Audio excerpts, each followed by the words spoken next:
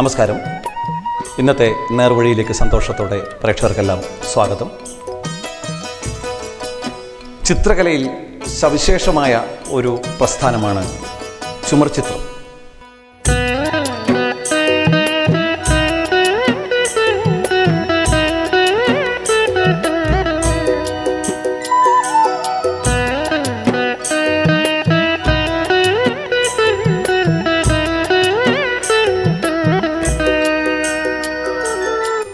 ക്ഷേത്രത്തിന്റെ ചുമരുകളിലും പുരാതന ഗുഹാചിത്രങ്ങളിലുമെല്ലാം ഉണ്ടായിട്ടുള്ള ചുമർ ചിത്രം എന്നത് വളരെ പ്രാചീനമുള്ള ഒരു ചിത്രകലാരൂപമാണ്. ഇന്ന് നമ്മൾ കാണുന്ന ഏതൊരു ചിത്രകലയുടെയും മുൻഗാമിയാണ് എന്ന് വേണമെങ്കിൽ വിളിക്കാം.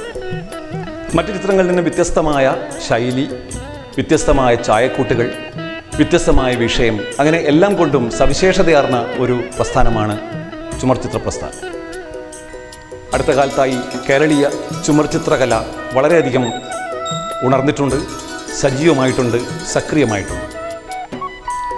നമ്മുടെ കണ്ണൂർ ജില്ലക്കാരനായിട്ടുള്ള ബിജു പാണപ്പുഴ ചുമർചിത്രകലയിൽ തന്റേതായിട്ടുള്ള ഒരു സ്ഥാനം നേടിയ പ്രതിഭാശാലിയാണ്.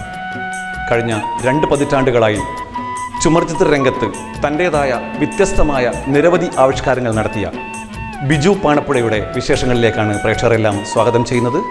നേർവഴി.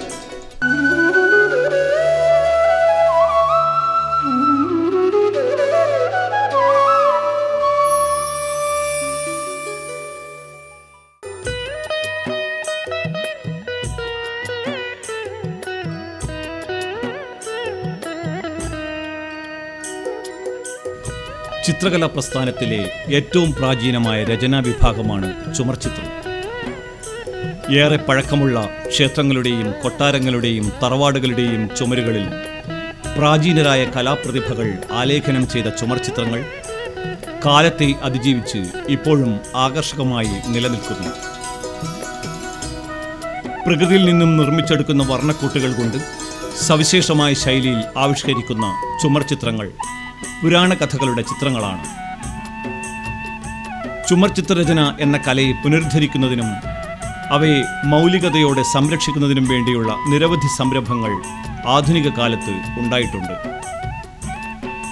ചുമർ ചിത്രകലയിൽ സ്വതസിദ്ധമായ ശൈലിയിലൂടെ തന്റെതായ സ്ഥാനം അടയാളപ്പെടുത്തിയ യുവ കലാകാരനാണ് ബിജു പാണപ്പുഴ.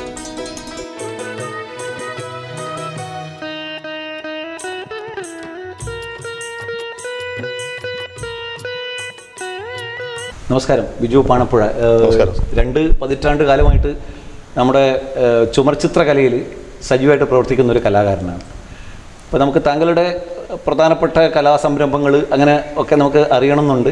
അതിനു മുമ്പായിട്ട് നമ്മൾ ഈ പ്രേക്ഷകർക്ക് എല്ലാവർക്കും ഈ ചുമർചിത്രം എന്ന് പറയുന്നത് എന്താണെന്നോ അത് മറ്റു ചിത്രകലയിൽ നിന്ന് എങ്ങനെ വേർതിരിഞ്ഞ് നിൽക്കുന്നു എന്നോ ഒന്ന് പ്രാഥമികമായിട്ട് അറിയാമെങ്കിൽ അവർക്കിത് നന്നായിട്ട് ആസ്വദിക്കാൻ കഴിയുമെന്ന് എനിക്ക് തോന്നുന്നു. അപ്പോൾ ഒരു ഇപ്പം നേരത്തെ പറഞ്ഞ പോലെ ഇരുപത് വർഷമായിട്ട് ഈ രംഗത്തുള്ള ഒരാൾ എന്ന നിലയിൽ എന്താണ് ഈ ചുമർ ചിത്രകലയുടെ ഒരു സവിശേഷത? മറ്റ് ചിത്രങ്ങളിൽ നിന്ന് അത് എങ്ങനെയാണ് വേർതിരിക്കുന്നത്? അതിന്റെ ചായക്കൂട്ട് അതിന്റെ ആവിഷ്കാരം എല്ലാറ്റിലും അതിന്റെതായിട്ടുള്ള സവിശേഷതയുണ്ടല്ലോ. അതൊന്ന് ചുരുക്കമായിട്ട് പറഞ്ഞുകൊണ്ട് നമുക്ക് തുടങ്ങാം. ഇപ്പം ചുമർ ചിത്രങ്ങൾ ലോകത്ത് എല്ലായിടത്തും ഉണ്ട്. അല്ലെങ്കിൽ ചിത്രകല തന്നെയാലും മനുഷ്യവംശം തുടങ്ങിയ കാലം മുതൽ ഉള്ളതാണ് ചിത്രകല. പണ്ട് കാലത്ത് ഗുഹാചിത്രങ്ങൾ എല്ലായിടത്തും. അങ്ങനെ നമ്മളെയും കേരളത്തിലും ഈ പിന്നെ ചുമർ ചിത്രകല തുടക്കം ഗുഹാചിത്രങ്ങൾ തന്നെ. എടക്കൽ ഗുഹയിലും മറയൂരും. നമ്മൾ ഇന്ന് കാണുന്ന ചിത്രകലേനെക്കാളും നേരത്തെ ഉള്ളതാണ് അതെ അതെ. അല്ലേ. കാരണം മറയൂരിലൊക്കെ ഉള്ളത് ശരിക്കും കളർ ഉപയോഗിച്ച് ചെയ്ത ചിത്രങ്ങൾ തന്നെയാണ്. അപ്പോൾ ആ കാലത്ത് കളർ ഉപയോഗിച്ച് നാച്ചുറൽ കളർ ഉണ്ടാക്കി ഉപയോഗിക്കുന്നുണ്ട്. അതുപോലെ തിരുനന്തിക്കര തമിഴ്നാട്ടിലാണ്. പണ്ട് കേരളത്തിലായിരുന്നു കന്യാകുമാരി ജില്ല കന്യാകുമാരി ജില്ലയിൽ അപ്പോൾ തിരുനന്തിക്കരയിലും ഗുഹാചിത്രങ്ങൾ അതാണ് നമ്മൾ ആദ്യമായിട്ട് കണ്ടെടുത്ത കേരള ചിത്രങ്ങൾ. ഒരു മാതൃക എന്ന് പറയാം. മാതൃക തന്നെ. അപ്പോൾ ഇതിന്റെ പ്രത്യേകത മറ്റു ചിത്രകളിൽ നിന്ന് വ്യത്യാസം എന്താണെന്ന് വെച്ചാൽ ഒന്ന് ഇതൊരു അലങ്കാര കലയാണ്. പിന്നെ കലാകാരന് പരിപൂർണ സ്വാതന്ത്ര്യമുണ്ട്. ഇതിൽ നമുക്ക് എത്ര അലങ്കാരങ്ങൾ എത്ര ആഡ് ചെയ്യാൻ പറ്റും അത്രയും മനോഹരമാക്കാൻ പറ്റും. മറ്റ് ചിത്രങ്ങളിൽ അത്രയും ഒരു സ്വാതന്ത്ര്യം നമുക്ക് എടുക്കാൻ പറ്റില്ല അതായത് എത്ര വേണമെങ്കിൽ വലുപ്പമാവാം. അത്ര കുറക്കുകയും ചെയ്യാം. ഇപ്പൊ ഇവിടെ കാണുന്ന പോലെ ഒരു ചെറിയ ചട്ടീരമുള്ളും വരക്കാം. ഒരു വലിയ കെട്ടിടത്തിന്റെ അല്ലെങ്കിൽ ക്ഷേത്രത്തിന്റെ ചുമര് മുഴുവനും വരക്കാം. അല്ലേ? അങ്ങനെയാണോ? അതന്നെ. എങ്ങനെ വേണമെങ്കിലും വരക്കാം. അതിൽ നമുക്ക് ഇഷ്ടമുള്ള രീതിയിൽ ഇതിന് അനുയോജ്യമായ കുറേ ഡിസൈനുകളുണ്ട്. പക്ഷെ അത് നമുക്ക് എവിടെ വേണമെങ്കിലും ആഡ് ചെയ്യാം. എത്രത്തോളം അലങ്കാരങ്ങൾ വർദ്ധിപ്പിക്കാൻ പറ്റും അത്രയും ചെയ്യാൻ പറ്റും. പിന്നെയുള്ളതെന്ന് വെച്ചാൽ മറ്റ് ചുമച്ചിത്ര ചുമച്ചിത്രങ്ങളിൽ തന്നെ ഒരുപാട് വെറൈറ്റി വെറൈറ്റി ഉണ്ട്. കാരണം നമ്മളത് കേരള ചുമച്ചിത്രങ്ങളാണ് അപ്പോൾ മറ്റ് ചിത്രങ്ങളിൽ ഇതും തമ്മിൽ വ്യത്യാസം എന്ന് വെച്ചാൽ ഏറ്റവും കൂടുതൽ വരകളും കളർ കോമ്പിനേഷൻ ഇത് രണ്ടും ഉള്ളത് നമ്മൾ കേരള മ്യൂറലിനാണ്. മറ്റു ചിത്രങ്ങൾ ഇത്രയൊന്നും വരകൾ ഉണ്ടാവില്ല. ഒരുപാട് നിങ്ങൾ ഒരു ചിത്രം കണ്ടു കഴിഞ്ഞാൽ മനസ്സിലാവും. എത്രയോ ചെറിയ ചെറിയ ലൈൻസുകൾ ഒരുപാട് ഉണ്ടാവും. മൈനോട്ടായിട്ടില്ല അപ്പോൾ അത്രയും വരകളും അതുപോലെ കളർ കോമ്പിനേഷനും ഉള്ളത് മറ്റ് ചിത്രകലയിലില്ല പിന്നെ ഇതിന് പണ്ട് കാലത്ത് ഉപയോഗിച്ചാൽ നമ്മൾ ഇന്നിപ്പം പല സിന്തറ്റിക് കളറുകൾ ഉപയോഗിക്കുന്നുണ്ട്. പണ്ട് കാലത്ത് ഇതിന് നമ്മൾ ഈ പ്രകൃതി വർണങ്ങൾ നമ്മൾ തന്നെ കല്ല് നീലാമ്പരിന്റെ ഇല ഇതൊക്കെ അരച്ചുണ്ടാക്കി നാച്ചുറലായി നാച്ചുറലായിട്ട് അതാണ് ഇതിൽ ചെയ്തുകൊണ്ടിരുന്നത്. ഇപ്പം അങ്ങനെയല്ല. അല്ല ഇപ്പോഴും ചെയ്യുന്നുണ്ട് അത്. പിന്നെ അതെല്ലാ സർഫേസിലും പറ്റൂല. കാരണം ഒരു പ്രശ്നമുണ്ട്. ലഭ്യതയ്ക്കും കുഴപ്പമില്ല. പക്ഷേ നമുക്കത് കുമ്മായ തേപ്പ് വേണം ചുമര്. അപ്പോൾ ഇന്ന കുമ്മായ തേപ്പ് ഒന്നും പെർഫെക്റ്റ് ചെയ്യുന്ന ആൾക്കാർ വളരെ കുറവാണ്. അപ്പോൾ അതുണ്ടെങ്കിൽ മാത്രമേ ഇത് സാധിക്കൂ. അങ്ങനെ പ്രശ്നം. പഴയ ചുമര് ക്ഷേത്രങ്ങൾക്കൊക്കെ ഉണ്ടായിട്ടുള്ള ചുമര് അതേപോലത്തെ ചുമരനെ വേണം. അതുപോലത്തെ ചുമര് വേണം. എന്നാൽ മാത്രമേ ഇതിന് ഒരു ലൈഫ് ഉണ്ടാവും. നമ്മൾ നാച്ചുറൽ എത്ര വർഷമാണ് നിൽക്കുള്ളൂ ആയിരം വർഷം നിൽക്കും എന്ന് പറയുന്നത് പക്ഷെ അതുപോലെ കെയർ ചെയ്യണം. കാരണം ഇതിന്റെ പൊടിയൊക്കെ പിടിച്ചു കഴിഞ്ഞാൽ മയിൽപ്പീലി കൊണ്ട് ചെറിയ ബ്രഷ് പോലെ ഉണ്ടാക്കി തുടച്ചാലാണെന്ന് പറയുക ഇത്രയും സോഫ്റ്റ് ആയിട്ട് ഉപയോഗിക്കാൻ പാടില്ല. വരാൻ പാടില്ല. വരാൻ അങ്ങനെ ഉപയോഗിക്കണം അങ്ങനെയാണെങ്കിൽ മാത്രമേ ഇത് ഇത്രയും കാലം നിലനിൽക്കൂ. അതുപോലെ ഇതിന്റെ വർണങ്ങൾ ഇപ്പം സാധാരണ നമുക്കെല്ലാം അറിയാം. ഒരു ചുമർചിത്രം കണ്ടു കഴിഞ്ഞാൽ അതിനെപ്പറ്റി അറിയാത്ത ആൾക്കും അത് ഒറ്റ നോട്ടത്തിൽ അതിന്റെ വ്യത്യസ്തത ഫീൽ ചെയ്യും. കാരണം അതിന്റെ മിഴിവുള്ള കളർ അതെ. അതെങ്ങനെയാണ് ആ ഒരു ഇത് വരുന്നത്? ഇതിൽ പഞ്ചവർണങ്ങളാണ് നമ്മൾ ഉപയോഗിക്കുന്നത്. അഞ്ച് കളറേ ഉപയോഗിക്കുന്നുള്ളൂ. മഞ്ഞ ചുവപ്പ് പച്ച നീല കറുപ്പ്. ബാക്കിയുള്ള കോമ്പിനേഷനാണ്. Combination direct. അത്ര ആ കളറേ ഉള്ളൂ. അത്ര കളറുകളേ ഉണ്ടാവും. മിക്സിംഗ് ഒന്നുമില്ല ഇല്ലില്ല ഇതിലിപ്പോൾ നമ്മൾ പിന്നെ കളർ ചെയ്യുന്നത് രജോ ഗുണം തമോ ഗുണം സ്വാത്തിക അങ്ങനെ കഥകളിക്കുള്ള പോലെ മൂന്ന് രീതിയിലാണ് കളർ ചെയ്യുന്നത്. സ്വഭാവം അനുസരിച്ച് ആൾക്കാർ കളർ കൊടുക്കുന്നതിന്റെ വലിയൊരു പ്രത്യേകതയാണ്. കാരണം രജോ സ്വഭാവം അനുസരിച്ചിട്ട് കഥാപാത്രങ്ങളുടെ നമ്മൾ വരക്കുന്നത് എന്താണെന്ന് വെച്ചാൽ നമ്മൾ ഏത് ഫിഗറാണോ ചെയ്യുന്നത് ആ കഥാപാത്രത്തിന്റെ സ്വഭാവമാണ് അതിന്റെ കളർ കാണിക്കുക. പക്ഷേ രജോ ഗുണമുള്ള കഥാപാത്രങ്ങളാണെങ്കിൽ മഞ്ഞയും ചുവപ്പും കളർ ഉണ്ടാവുക. സാത്വിക പറഞ്ഞാൽ പച്ചയും നീലയും ഉണ്ടാവും. അതന്നെ തീർച്ചയായിട്ടും. ഇപ്പൊ തമോ ഗുണം എന്ന് പറയുന്നത് കറുപ്പാണ് പക്ഷെ ചുമചിത്രകലയിൽ അതിന് കളർ കൊടുക്കില്ല. അപ്പൊ വൈറ്റ് ആയിട്ട് തന്നെ ഉണ്ട്. ആ പ്രതലത്തിന്റെ അതേ കളർ അതാണ് തമോ ഗുണം എന്ന് പറഞ്ഞാൽ വൈറ്റ് ആയിട്ട് കാണിക്കുക. നമ്മൾ ഈ ഒരു വലിയ ഒരു ചുമർചിത്രം എന്ന് പറയുന്ന ഒരു വലിയൊരു സമുച്ചയം എന്നൊക്കെ പറയാലോ? ഒരു സിംഗിൾ അല്ലല്ലോ? അല്ല, അല്ല. അപ്പൊ അങ്ങനെ ചിത്രങ്ങൾ കാണുമ്പോൾ നമുക്ക് അതിൽ ആയിരത്തിൽ പരം വർണങ്ങൾ ഫീൽ ചെയ്യുന്നുണ്ട് പ്രേക്ഷകന്. തീർച്ചയായിട്ടും അപ്പൊ അതെല്ലാം ഈ അഞ്ച് വർണത്തിൽ ഉണ്ടാക്കുകയാണ്? അത്രേ ഉള്ളൂ. അഞ്ച് വർണങ്ങൾ അതുപോലെ ഇനി സബ്ജക്റ്റിന് അങ്ങനെ ഒരു ഇതുണ്ടോ? സബ്ജക്റ്റ് നമ്മൾ ഈ പണ്ട് കാലത്ത് ചെയ്തുകൊണ്ടിരിക്കുന്നത് പുരാണ ഇതിഹാസങ്ങൾ കഥാപാത്രങ്ങളും കഥാസന്ദർഭങ്ങളൊക്കെയാണ്. പിന്നെ അതുപോലെ ഈ ദൈവികമായിട്ടുള്ള ചിത്രങ്ങളും വിഗ്രഹത്തിന്റെ അതുപോലെയൊക്കെ പണ്ട് കാലത്തത്തെ ചെയ്തിട്ടുള്ളൂ. കാരണം ഇത് രാജകൊട്ടാരങ്ങളിൽ അമ്പലങ്ങളിൽ മാത്രമേ ഉണ്ടായിട്ടുള്ളൂ പണ്ട്. അപ്പോൾ അതുകൊണ്ട് തന്നെ അതിൽ അത്തരം കഥാപാത്രങ്ങൾ മാത്രമേ അന്ന് ഉണ്ടായിട്ടുള്ളൂ. ഇപ്പോൾ നമ്മൾ കാരണം ഇത് അങ്ങനെ ഒരു തെറ്റിദ്ധാരണയുണ്ട്. ഇത് അങ്ങനെ ചെയ്യാൻ പറ്റുമെന്നല്ലേ അപ്പോൾ നമ്മൾക്ക് ചെയ്യുമ്പോൾ ഞാൻ പുതിയതായിട്ട് ഒരുപാട് സാഹിത്യ സൃഷ്ടിയിലെ കഥാപാത്രങ്ങൾ ഇപ്പോൾ കുമാരനാശന്റെ കരുണ അതുപോലത്തെ താരങ്ങൾ നമ്മൾ ചെയ്യുന്നത്. കാരണം ഇത് അങ്ങനെയും ചെയ്യാൻ പറ്റും. കാരണം ഇത് നമുക്ക് പൊതുവായിട്ട് തെറ്റിദ്ധാരണയുടെ ഇതെല്ലാം ദൈവങ്ങൾ മാത്രമേ പുരാണവുമായി ബന്ധപ്പെട്ട് പറ്റുള്ളൂ എന്നുള്ളൊരു ധാരണയുണ്ട്.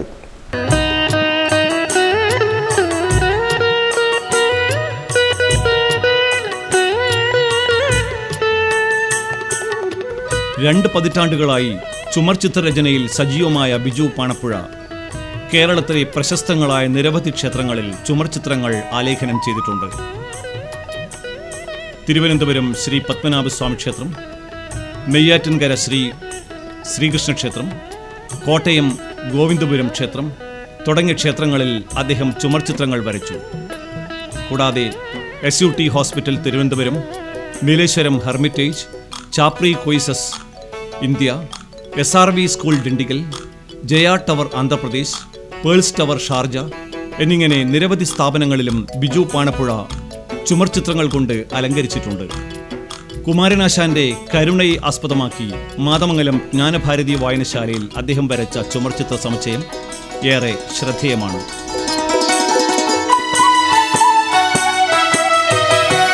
അപ്പോൾ ബിജു നേരത്തെ പറയുകയുണ്ടായല്ലോ രണ്ട് പതിറ്റാണ്ട് സാമാന്യം സുദീർഘമായിട്ടുള്ള കാലങ്ങളായിട്ട് ഈ നമ്മുടെ ചുമർചിത്ര രംഗത്ത് ഉണ്ടല്ലോ. അപ്പോൾ നമ്മുടെ ഇപ്പോഴത്തെ കേരളത്തിലെ ചുമർചിത്ര പ്രസ്ഥാനം അതിന്റെ അവസ്ഥ എന്താണ്? അത് എനിക്ക് തോന്നുന്നു കുറച്ച് ഇപ്പോൾ കുറച്ച് ആക്റ്റീവ് ആണെന്ന് തോന്നുന്നു. അടുത്ത കാലത്തായിട്ട് കുറേ സജീവ കലാകാരന്മാർക്ക് അതിൽ വന്നിട്ടുണ്ട്. അതിപ്പോൾ കുറച്ച് സജീവമായിട്ട് നിൽക്കുന്നു തോന്നുന്നു അല്ലേ? എന്താണ് താങ്കൾക്ക് അതിനെക്കുറിച്ച് നിരീക്ഷിക്കാനുള്ളത്? നിലവിൽ ആക്റ്റീവാണ് പക്ഷെ അതോടൊപ്പം തന്നെ ഒരുപാട് ദോഷങ്ങളുണ്ട്. ഓ. എന്ന് പറഞ്ഞാൽ ഇപ്പം നേരെ പൈനൂർ തന്നെ നോക്കിക്കഴിഞ്ഞാൽ മ്യൂറൽ പെയിന്റ് ചെയ്യുന്നു പറയുന്ന എത്രയോ ആൾക്കാരുണ്ട്. അതെ. പക്ഷെ അവരൊന്നും ചെയ്യുന്ന പെർഫെക്റ്റ് ആയിട്ടുള്ള ചിത്രങ്ങളല്ല. ഏതെങ്കിലും ഒന്നിന്റെ കോപ്പിയോ അല്ലെങ്കിൽ ട്രേസ് എടുത്തിട്ടോ ഒക്കെ ചെയ്യുന്നത് ഇത്ര ഇപ്പം ചുമ ഉള്ളൂ ചുമർ ചിത്രം എന്നുള്ള തെറ്റിദ്ധാരണ അത് കാണുന്നവർക്ക് ഉണ്ടാവും. കാരണം എന്റെ അടുത്തേക്ക് വന്നിട്ട് എന്നെ ഇവിടെ കൊണ്ട് കാണിച്ചിട്ടുണ്ട് ചിത്രങ്ങൾ വരച്ചത് വരച്ചതെന്ന് പറഞ്ഞിട്ട്. ട്രേസ് തന്നെ വേറെ ചുമർചിത്രങ്ങളുടെ പതിപ്പ്. ആ കോപ്പി ആ. ഈ കോപ്പി ചെയ്യാന്നുള്ള വല്ലാത്തൊരു ധാരണ എല്ലാവർക്കും ഉണ്ട്. പണ്ട് മുതലേ ഇതിന്റെ കോപ്പിയാ കോപ്പിയാന്നുള്ളത് അപ്പം അടുത്ത് അടുത്തേക്ക് ഒന്നും കോപ്പിയല്ല എന്റെ എന്റെ സ്വന്തം ക്രിയേഷൻ എല്ലാ പെയിന്റിങ്ങുകളും അപ്പൊ അപ്പോൾ ഇതുപോലെ പുതിയ ആൾക്കാർ വന്നിട്ട് അല്ലെങ്കിൽ ഒരു കുറച്ചെന്തെങ്കിലും പഠിച്ചിട്ട് അവർ മറക്കും. എന്നോട് പലപ്പോഴും പറയും ഞാൻ എടുക്കുമ്പോൾ ചിത്രം മറക്കും. ആ നമ്മുടെ വീട്ടിനടുത്തുണ്ട് ഒരു സ്ത്രീ ഉണ്ട് തന്നെ ചെയ്യുന്നത്. അപ്പൊ അപ്പോൾ അവരെ കണ്ടിൽ അത്രേ ഉള്ളൂ. അവർ ചെയ്യുന്ന അത് നമ്മൾ ചെയ്യുന്ന അത് തന്നെയാണെന്നുള്ളൊരു ധാരണയുണ്ട്. ഈ സാധനം നോക്കിക്കൂടാ വരച്ചോളാം. ആ. അപ്പം അങ്ങനെ വ്യാപാരം മാഷ് ഇപ്പോൾ അതിനോട്ട് അന്വേഷിച്ച് അറിയും. ഒരു എനിക്ക് തോന്നുന്നൊരു നൂറുകണക്കിന് ആളുണ്ടാവും. പക്ഷെ അവരൊന്നും ഇതിന്റെ പെർഫെക്റ്റ് എന്താന്ന് പോലും അറിഞ്ഞിട്ടുണ്ടാവില്ല ഇതുവരെ. ക്രിയേറ്റിവിറ്റി ഒരു സാധനമില്ല. വെറും. കോപ്പിങ് ടെക്നോളജി മാത്രം. കോപ്പി ആണെങ്കിൽ പോലും അതുപോലും പെർഫെക്റ്റ് അല്ല. എന്തൊക്കെയാന്ന് പല സ്ഥലത്തും എക്സിബിഷൻ നോക്കിക്കഴിഞ്ഞാൽ അറിയാൻ പറ്റും. അപ്പൊ അതൊരു വലിയ പ്രശ്നമാണ്. കാരണം ഈ കലയെ ശരിക്കും നശിപ്പിക്കുക അടുത്ത കാലത്ത് ഇങ്ങനെ ഈ ഒരു ഒരുപാട് ആൾ വ്യാപകമായിട്ട് ഇതിലേക്ക് ആകർഷിക്കപ്പെടാൻ കാരണമുണ്ടോ? കാരണം ഇതിന്റെ മാർക്കറ്റാണ്. മാർക്കറ്റ് മൂല്യമാണ്. അതല്ല. കാരണം ആവശ്യക്കാർ ഒരുപാടുണ്ട് പല സ്ഥലത്ത്. കേരളത്തിലാണ് പുറത്തായി കൂടുതൽ വർക്കുകൾ നമുക്കെല്ലാം പുറത്താണ്. അതാണ് കൂടുതൽ ആൾക്കാരിലേക്ക് വരുന്നതിന്റെ കാരണം. കാരണം മറ്റു ചിത്രങ്ങളെക്കാളും പെട്ടെന്ന് സെയിലാവും. അപ്പൊ അതുകൊണ്ടാണ് എല്ലാവരും ഇത് ട്രൈ ചെയ്യുന്നത്. ബിസിനസ് ബിസിനസ് അപ്പൊ അത് എന്താന്ന് എന്താണ് ഒരു പ്രധാനപ്പെട്ട വിഷയമാണ് താങ്കളിപ്പോൾ പറഞ്ഞത്. അല്ലെങ്കിൽ നമുക്ക് വരാം. ഇപ്പൊ ബിജുവിന്റെ ഒരു ചിത്ര ഒരു ചുമർച്ച നേരത്തെ പറഞ്ഞു നമ്മൾ ഏകദേശം ഇരുപതോളം വർഷങ്ങളായി. അപ്പോൾ പ്രധാനപ്പെട്ട വർക്കുകൾ ഏതൊക്കെയാണ്? എവിടെയൊക്കെയാണ്? പ്രധാനപ്പെട്ട വർക്ക് പറഞ്ഞാൽ പിന്നെ തിരുവനന്തപുരം പൽപ്പനാമസ്വാമി ക്ഷേത്രത്തിൽ ഒരു വർഷത്തോളം വർക്ക് ചെയ്തിട്ടുണ്ട്. അതാണ് വലിയൊരു വർക്ക്. ക്ഷേത്ര ചുമരിൽ തന്നെയോ? ചുമര് ആ ക്ഷേത്ര ചുമരിൽ രണ്ടായിരത്തി മൂന്ന് രണ്ടായിരത്തി നാല് ആ രണ്ട് ഒരു വർഷം. പിന്നെ നെയ്യാറ്റിങ്കര ശ്രീകൃഷ്ണ ക്ഷേത്രം. ഈ ക്ഷേത്രം എന്ന് പറഞ്ഞാൽ എത്ര വലിപ്പത്തിലുണ്ട്? അതോ ചെറിയ വർക്കാണോ? അതോ വലിയ ചുമര് മുഴുവനാണോ? അതിൽ ഒരുപാട് വർക്കുണ്ട്. കാരണം കുറേ പഴയ വർക്കുകൾ ടച്ചപ്പ് ഉണ്ട്. കളർ പോയതെല്ലാം നന്നാക്കി എടുക്കുക പിന്നെ അതിന്റെ തെക്കേ ഭാഗത്തൊരു അയ്യപ്പ ക്ഷേത്രമുണ്ട്. അതിന്റെ ചുമരിൽ രണ്ട് ദ്വാരപാലകർ. ഒരുപാട് വർക്ക്. പിന്നെ ക്ഷേത്രപാലകം ഉണ്ട് വടക്ക് ഭാഗത്തൊരു ക്ഷേത്രമുണ്ട്. അതിന്റെ അകത്ത് പെയിന്റിങ് അതിലും മൊത്തം കളർ പോയതാണ്. രണ്ടാമത് ചെയ്തെടുത്തു. അല്ല അവിടെ നിലവിലുണ്ടായിരുന്ന പ്രാചീനമായിട്ടുള്ള ഏതോ പഴയകാല ചിത്രകാരം വരച്ചതിനെ നമ്മൾ റിന്യൂ ചെയ്തു. റിന്യൂ ചെയ്തു. പക്ഷേ അയ്യപ്പ ക്ഷേത്രത്തിൽ പുതിയ വർക്കാണ്. പുതിയ വർക്ക് ഇവിടെ ഉണ്ടായിരുന്നില്ല. അത് നമ്മളിപ്പോൾ ഒരു ക്ഷേത്രത്തിൽ വർക്ക് ചെയ്യുന്ന സമയത്ത് ആ ക്ഷേത്രത്തിലെ ചുമർ ചിത്രങ്ങൾ പൊതുവെ എങ്ങനെയാണെന്ന് നോക്കിയിട്ട് അതേ ശൈലി ചെയ്യുക അങ്ങനെയാണോ? അതോ തീർച്ചയായിട്ടും. നമ്മുടെ ശൈലി അവിടെ ചെയ്യാണോ? അല്ലല്ല അവിടെ ചെയ്യുമ്പം അതേ ശൈലിയാണ്. കാരണം അത് പണ്ടൊരാൾ ചെയ്ത സാധനത്തിനെ നന്നാക്കി എടുക്കുന്നതാണ്. അപ്പോൾ ആ ശൈലി മാറ്റാതെ അത് തന്നെ ചെയ്യുന്നത്. ഇപ്പം നമ്മൾ ചെയ്യുന്ന പുതിയ വർക്കാണെങ്കിൽ നമ്മളെ ശൈലിയാണ്. അതിന്റെ മുഖവും കണ്ണും ഇതെല്ലാം നമ്മളായിട്ടുള്ള രീതിയിൽ തന്നെ ചെയ്യുന്നത് നമ്മളാ രീതിയിൽ ചെയ്യുന്നത്. ഈ ക്ഷേത്ര നിങ്ങൾ ഏൽപ്പിക്കുന്ന ആൾക്കാർ എന്തെങ്കിലും നിർദ്ദേശങ്ങളൊക്കെ നൽകുമോ ഇത്തരം കാര്യങ്ങളിൽ അവർ പറയും ഇത് ഇത്രയും പുരാതനമായിട്ടുള്ള കലയാണ് അല്ലെങ്കിൽ ഈ ചുമരുണ്ടായിരുന്നതാണ് ആ രീതിയിൽ അതിനെ കൈകാര്യം ചെയ്യണം എന്നുള്ളൊരു നിർദ്ദേശം തരും. മറ്റങ്ങനെ അവരുപയോഗിച്ചത് വളരെ നാച്ചുറൽ ആയിട്ടുള്ള കളറും മറ്റും ആയിരിക്കുമല്ലോ വളരെ നമ്മളും അത് തന്നെ ഉപയോഗിക്കുന്നത്. ക്ഷേത്ര ചുമര് അപ്പോൾ ചെയ്യുമ്പോൾ നമ്മൾ അവിടെ അതേ നാച്ചുറൽ ചെയ്യാൻ പറ്റുമല്ലേ തീർച്ചയായിട്ടും അത് തന്നെ ഉപയോഗിക്കുന്നത്. അപ്പോൾ നമുക്ക് ബിജു പാണപ്പയുടെ രചനകളിലേക്ക് കടന്നാൽ. ഇപ്പോൾ എന്തൊക്കെ പ്രധാനപ്പെട്ട രചനകൾ എവിടെയൊക്കെ നടത്തിയിട്ടുണ്ട്? അതിനെക്കുറിച്ചൊന്ന് ചുരുക്കമായിട്ട് പറയാമോ? നെയ്യാറ്റിങ്കര ശ്രീകൃഷ്ണ ക്ഷേത്രം. അതിന്റെ ചുമര് മുഴുവനും ശ്രീകോവിലിന്റെ ചുറ്റും എല്ലാം പുതിയ ചിത്രങ്ങളാണ് നമ്മൾ ചെയ്ത ചിത്രം. പിന്നെ കോട്ടയത്ത് ഗോവിന്ദപുരം ശ്രീകൃഷ്ണ ക്ഷേത്രം. അതാണ് പ്രധാനപ്പെട്ട ക്ഷേത്രങ്ങളിലെ വർക്കുകൾ. അല്ല അതിന് ഒരുപാട് ചെറിയ ക്ഷേത്രങ്ങൾ ചെയ്തിട്ടുണ്ട്. പിന്നെയുള്ള വർക്കുകളെല്ലാം ഈ പുറത്ത് ഹോട്ടൽ റിസോർട്ട് ക്ഷേത്രങ്ങളല്ലാത്തത്. അല്ലാതെ വലിയ വലിയ വീട്. കാരണം ഇന്ന് ഇപ്പോൾ ക്ഷേത്രങ്ങളിലല്ല ക്ഷേത്രകലയാണെങ്കിലും ഇന്ന് ഇതൊരു ഫാഷനാണ്. മിക്കവാറും റിസോർട്ടുകൾ ഹോട്ടലുകൾ വലിയൊരു വീട് വെക്കുന്നതിന് അതിന്റെ ഒരു ചുമരിൽ ചിത്രം ഉണ്ടാവും. അതിലൊരു അല ഇന്നിപ്പം ശരിക്കും ഫാഷൻ തന്നെയാണ്. അതാണ് ആൾക്കാർ കൂടുതൽ വരുന്നത് പറഞ്ഞതിന്റെ പ്രധാനപ്പെട്ട കാരണം. ആളുകൾക്ക് അതിനോട് കുറച്ച് താല്പര്യം കൂടി അത് കേരളത്തിൽ മാത്രമുള്ളതാണോ എല്ലാവരും എല്ലാ സ്ഥലത്തും ഉണ്ടോ? അല്ല എല്ലാ സ്ഥലത്തും ഉണ്ട്. കാരണം ഞാനും കൂടുതൽ വർക്ക് ചെയ്തെല്ലാം പുറത്താണ്. പുറത്തുനിന്ന് വെച്ചാൽ ഇന്ത്യയ്ക്ക് പുറത്താണോ ഇന്ത്യയ്ക്ക് പുറത്തുണ്ട് ബാംഗ്ലൂർ പിന്നെ ഇന്ത്യയിൽ തന്നെ പല സ്ഥലത്തായിട്ട് ഉണ്ട്. പിന്നെ ഒരുപാട് ഇതുപോലെ നമ്മൾ ക്യാൻവാസ് പെയിന്റിംഗ് എല്ലാം പോകുന്നത് അത്ര മൊത്തം എത്ര ഇപ്പോൾ ഇരുപത് വർഷം എന്ന് പറയുമ്പോൾ കുറച്ച് ദീർഘമായിട്ട് കാലമാണല്ലോ. അതെ. എത്ര വർക്ക് പ്രധാന വർക്ക് അങ്ങനെ വല്ലതും പറയാൻ പറ്റുമോ? എത്ര വർക്ക് എന്നല്ല എന്നാലും ഒരു ആയിരക്കണക്കിന് വരച്ചു. എണ്ണൊന്നുമില്ല അതിൽ നമുക്ക് നമുക്ക് തന്നെ തൃപ്തി നമ്മുടെ മാസ്റ്റർ പീസ് എന്നൊക്കെ പറയാം അങ്ങനെ വല്ലതും ഉണ്ടാവുമോ? അങ്ങനെ ഉണ്ടായിരുന്നു ഒരുപാട് ചിത്രങ്ങൾ. ഒരു ചമയം ഉണ്ടായിരുന്നു. മ്യൂറലിൽ പൊതുവെ ഈ ബാക്ക് ഫിഗർ ഒന്നും കാണിക്കാറില്ല. ഏത്? ബാക്ക് സൈഡ് അങ്ങനെ കാണിക്കൽ കുറവാണ്. സൈഡ് ഫിഗർ അല്ലെങ്കിൽ ഫ്രണ്ട് പോസ് അങ്ങനെ കാണിക്കല്ലോ ഞാനതിൽ സ്ത്രീയുടെ ബാക്ക് സൈഡാണ് മെയിൻ ഫിഗറായിട്ട് ചെയ്തത്. അത് എന്റെ ഒരു എനിക്ക് ഇഷ്ടപ്പെട്ട വളരെ ഇഷ്ടപ്പെട്ട ഒരു വർക്കാണ് ഡിഫറെന്റ് ആയിട്ടൊരു ഡിഫറെന്റ് ആയിട്ട് പിന്നെ അതുപോലെ ഈ മത്സ്യവില്പനക്കാരി അങ്ങനെ അതെല്ലാം ഞാൻ ഈ ശൈലി ഉപയോഗിച്ച് ചെയ്തതാണ്. അപ്പോൾ ആ സ്ഥലം പുറത്തേക്ക് പോയി. പിന്നെ യേശുവിന്റെ ലാസ്റ്റ് സപ്പർ ചെയ്തിട്ടുണ്ട് അത് വലിയ വർക്കായിരുന്നു പക്ഷെ ഒരു പത്ത് അഞ്ച് സൈസിലുള്ള അതെല്ലാം വിദേശത്തേക്കാണ് ഹോങ്കോങ്ങിൽ അങ്ങോട്ട് ഹോളണ്ട്. എക്സിബിഷൻ കൂട്ടായിട്ടോ വൺ മാൻ ആയിട്ടോ ചെയ്തിട്ടുണ്ടോ? ഓ രണ്ട് രീതിയിൽ ചെയ്തിട്ടുണ്ട്. രണ്ടായിരത്തി സോൺ എക്സിബിഷൻ ഡൽഹിയിലായിരുന്നു. രണ്ടായിരത്തി പതിനാറിൽ. പിന്നെ ഒരു പതിനഞ്ചോളം ഇന്റർനാഷണൽ എക്സിബിഷൻ പങ്കെടുത്തിട്ടുണ്ട്. ഗ്രൂപ്പായിട്ട്. ഗ്രൂപ്പായിട്ട് ഇന്റർനാഷണൽ അത് പുറത്തുള്ള ആർട്ടിസ്റ്റുണ്ടായിരുന്നു അല്ലാതെ ഒരു ഒരു അഞ്ചോളം നാഷണൽ എക്സിബിഷനും. എക്സിബിഷൻ റെഗുലറായിട്ട് ചെയ്യണമെന്നുള്ള ആഗ്രഹമുണ്ട്? ഈ വർഷം അത് പുതിയ വർക്ക് വരുമ്പോൾ ചെയ്യും അല്ലേ? അതെ ഇപ്പോൾ ഈ താങ്കൾ പൊതുവേ നേരത്തെ പറഞ്ഞ പോലെ ഇത് ബിസിനസ്സും കൂടിയാണ്. നമ്മുടെ ഉപജീവനവുമാണ് ഒപ്പം കലയുമാണ് അല്ലേ? തീർച്ചയായും. അപ്പോൾ അങ്ങനെയുള്ള ഓഫറുകളൊക്കെ വരുമ്പോൾ നമ്മൾ വരക്കും. അങ്ങനെയാണോ അതോ വെറുതെ ഇരിക്കുമ്പോഴെല്ലാം നമ്മൾ വരച്ചുകൊണ്ടിരിക്കും. അങ്ങനെയാണോ? ഞാൻ ഫുൾ ടൈം വർക്ക് തന്നെയാണ്. അപ്പൊ ആ ചെയ്യുന്ന എന്റെ കയ്യിലുള്ളതെല്ലാം ഞാൻ ഇപ്പോൾ ചുമര കാണുന്നതെല്ലാം ഫ്രീ ടൈമിന് വരച്ചതാണ്. എല്ലാ സമയത്തും വർക്ക് ചെയ്തുകൊണ്ടിരിക്കും. കാരണം ഇതിനൊരു പ്രത്യേകത വെച്ചാൽ നമ്മൾ പിന്നെ ഓർഡർ വർക്കിന് മാത്രം വേണ്ടി വെയിറ്റ് ചെയ്ത് കഴിഞ്ഞാൽ ശരിക്കും നമ്മളെ സ്കില്ല് നഷ്ടപ്പെടുകയാണ്. ഫുൾ ടൈം വരക്കണം. എപ്പോഴും ഞാനിപ്പോൾ ക്ലാസ് എടുക്കുമ്പോൾ എല്ലാം പറയല്ലേ റെഗുലർ ആയിട്ട് വർക്ക് ചെയ്തുകൊണ്ട് മാത്രമേ ഡെവലപ്പ് ആകൂ പിന്നെ അങ്ങനെ പ്രത്യേകം കൈ നല്ല രീതിയിൽ വഴങ്ങണം. ക്ലാസ് എടുക്കുന്നുണ്ടോ താങ്കൾ ക്ലാസ് എടുക്കുന്നുണ്ട്. എവിടെയാണ്? ക്ലാസ് ഇപ്പോൾ ഇവിടെ എടുക്കുന്ന അടുത്ത് കാഞ്ഞങ്ങാടാണ്. പിന്നെ എല്ലാം പുറത്ത്. കോയമ്പത്തൂർ ചെന്നൈ പിന്നെ ഉത്തരാഖണ്ഡിലുണ്ട്. ഇന്ത്യയിലും വിദേശത്തുമായി നിരവധി ചിത്ര പ്രദർശനങ്ങളിലും ക്യാമ്പുകളിലും പണിപ്പുരകളിലും ബിജു പാണപ്പുഴ പങ്കെടുത്തു. കേരള ലളിതകലാ അക്കാദമിയുടെ Chitrasancharam national painting exhibition Pune Darpan arts gallery insight national painting exhibition Bangalore Chitrakala Parishath arts ഗാലറിയിലെ rainbow national painting exhibition Thiruvananthapuram Lalithakala academy art ഗാലറിയിൽ നടന്ന സൂര്യ ഫെസ്റ്റിവൽ അന്താരാഷ്ട്ര പെയിന്റിംഗ് പ്രദർശനം എന്നിവ ഇവയിൽ ചിലതു മാത്രമാണ് കേരള ക്ഷേത്രകലാ അക്കാദമിയുടെ ആദ്യത്തെ ചുമർചിത്ര പുരസ്കാരം ലഭിച്ചത് ബിജു പാണപ്പുഴയ്ക്കാണ്. കൂടാതെ റോട്ടറി ക്ലബിന്റെ വൊക്കേഷണൽ എക്സലൻസി അവാർഡ് തുടങ്ങിയ മറ്റനേകം ബഹുമതികളും അദ്ദേഹത്തിന് ലഭിക്കുകയുണ്ടായി. ഈ ബിജു എന്ന ഒരു കലാകാരൻ എങ്ങനെയാണ് ഈ ചുമർചിത്രം എന്ന് പറയുന്ന ഒരു പ്രസ്ഥാനത്തിലേക്ക് നമ്മൾ ആകർഷിക്കപ്പെടുന്നത്? എവിടെയാണ് ഇതിന്റെ തുടക്കം? ആരൊക്കെയാണ് ഗുരുക്കന്മാർ എവിടെ നിന്നൊക്കെയാണ് പഠിച്ചത്? ആദ്യം നമ്മൾ ചിത്രകല കുറച്ച് അഭ്യസിച്ചിട്ടായിരിക്കുമല്ലോ സ്വാഭാവികമായിട്ടും ഈ ചുമർചിത്രം എന്ന് പറയുന്ന ഒരു പ്രസ്ഥാനത്തിലേക്ക് വരുന്നത്. എവിടെയാണ് ഇതിന്റെ തുടക്കം? ഞാൻ ബ്രഷ്മൻസിൽ ഡ്രോയിങ് എല്ലാം പഠിച്ചു കഴിഞ്ഞിരിക്കുന്ന സമയത്ത് ഞാൻ നാട്ടിൽ ബോർഡ് എഴുത്ത് ഹൗസ് പെയിന്റിങ് ഇതൊക്കെയാണ് ആദ്യത്തെ പണി. ആ സമയത്ത് ഞാൻ ഒന്ന് രണ്ട് ക്യാമ്പുകളിൽ പങ്കെടുക്കാറുണ്ടായിരുന്നു. സാധാരണ ഈ അഡ്വർടൈസ്മെന്റ് വർക്ക് അല്ലേ? സ്ക്രീൻ പ്രിന്റിങ് ബോർഡ് എടുത്ത്. പാലക്കുളിനൊക്കെ ബോർഡ് ഉണ്ടാവും സമയത്ത്? സ്ക്വയർ ബോർഡുകളൊക്കെ ഉണ്ടാവും അതൊക്കെയാണ് അന്നത്തെ പണി.